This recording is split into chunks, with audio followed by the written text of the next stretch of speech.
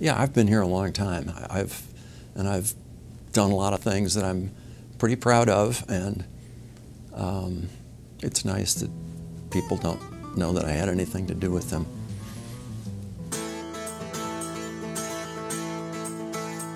Jim is a visionary. Jim Spore is a, a mentor. He's so well respected. He's smart. He's talented. He's kind. You know, I've seen his real strength of character and his commitment to the region and his intellect, uh, his graciousness. I mean, he's really quite a person.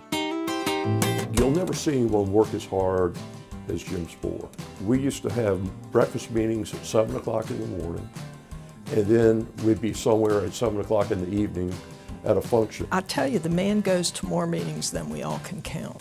That energy is still there. If life is mostly about showing up, he shows up. Jim has a heart for service. When you work for city government or you work for nonprofit, you really care about the long-term results in your citizens and your community. And Jim brings that to the table. And if you sit back and look at what occurred during the time frame that Jim was our city manager, it, it's just truly unbelievable. You know, who ever thought Town Center would be what it is today? Jim Spore was huge in making that happen. I will never forget, we were sitting in the office and I was saying, well, you know, TCC at the beach campus needs a new library.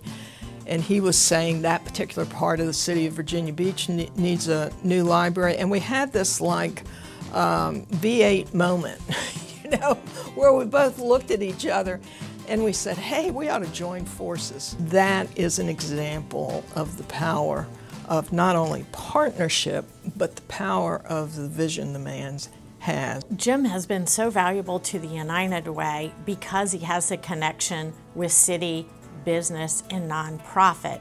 He's our current board chair. I don't know if I have said this to Jim, but in going through COVID and having United Way be so outwardly faced and serving directly to the community, Jim was that strength internally for our team. Where I've really gotten to know him, of course, is we hired him, uh, Debbie DiCroce and I, to run the CEO of the uh, Reinvent Hampton Roads. Quite frankly, could not think of another person as the founding president and CEO of that organization. No idea that it was going to become really the visioning organization for economic development of the region. When you look at his resume, you would think he would be intimidating, but he's not. I think he's actually very shy about it. Jim has done a great job of always trying to stay in the background.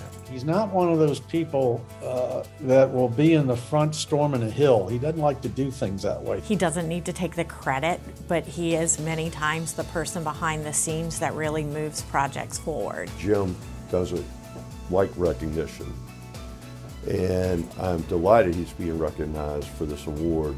I hope the steam that he has and the energy that he has continues um, because in some ways much of that work has just begun. So kudos to Jim, well deserved and so honored to be a part of this. So my hat off to my good friend and sometimes uh, fellow traveler in the journey to Jim Spore. It's, um, it's who I am.